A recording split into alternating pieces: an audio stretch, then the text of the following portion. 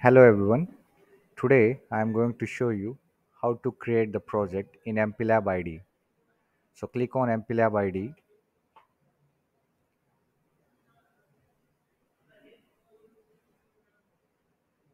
Then go to the project. Click on project wizard. A welcome window will pop up. Click on next. Then select the device as PIC 18F4550. Next. Then in the active toolsuit, you have to select microchip C18 toolsuit. Click on next. Click on browse. Now go to the desktop. On the desktop, you have to create one folder. New folder. So I'll call it as a LED. So open that folder.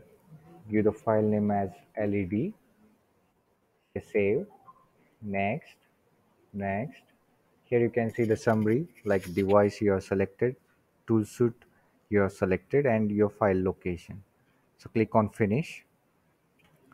Now to type the project go to the file and say new. So this is your editor window. Now in this window you have to type the program so I already have the program. I'll just copy paste. So here's control V. Now once you type in program save the program. And make sure you save the program on the in the LED folder which is on desktop. So give the file name as led.c save. You can see the color of the program has changed. Now go to the source file. Right click there. Say add files select your file led.c say open. Now after this we'll we'll check for any any error or we'll compile this program. So for that go to the project and say build all. So here you can see your project uh, the the software id it is checking for if there is an error.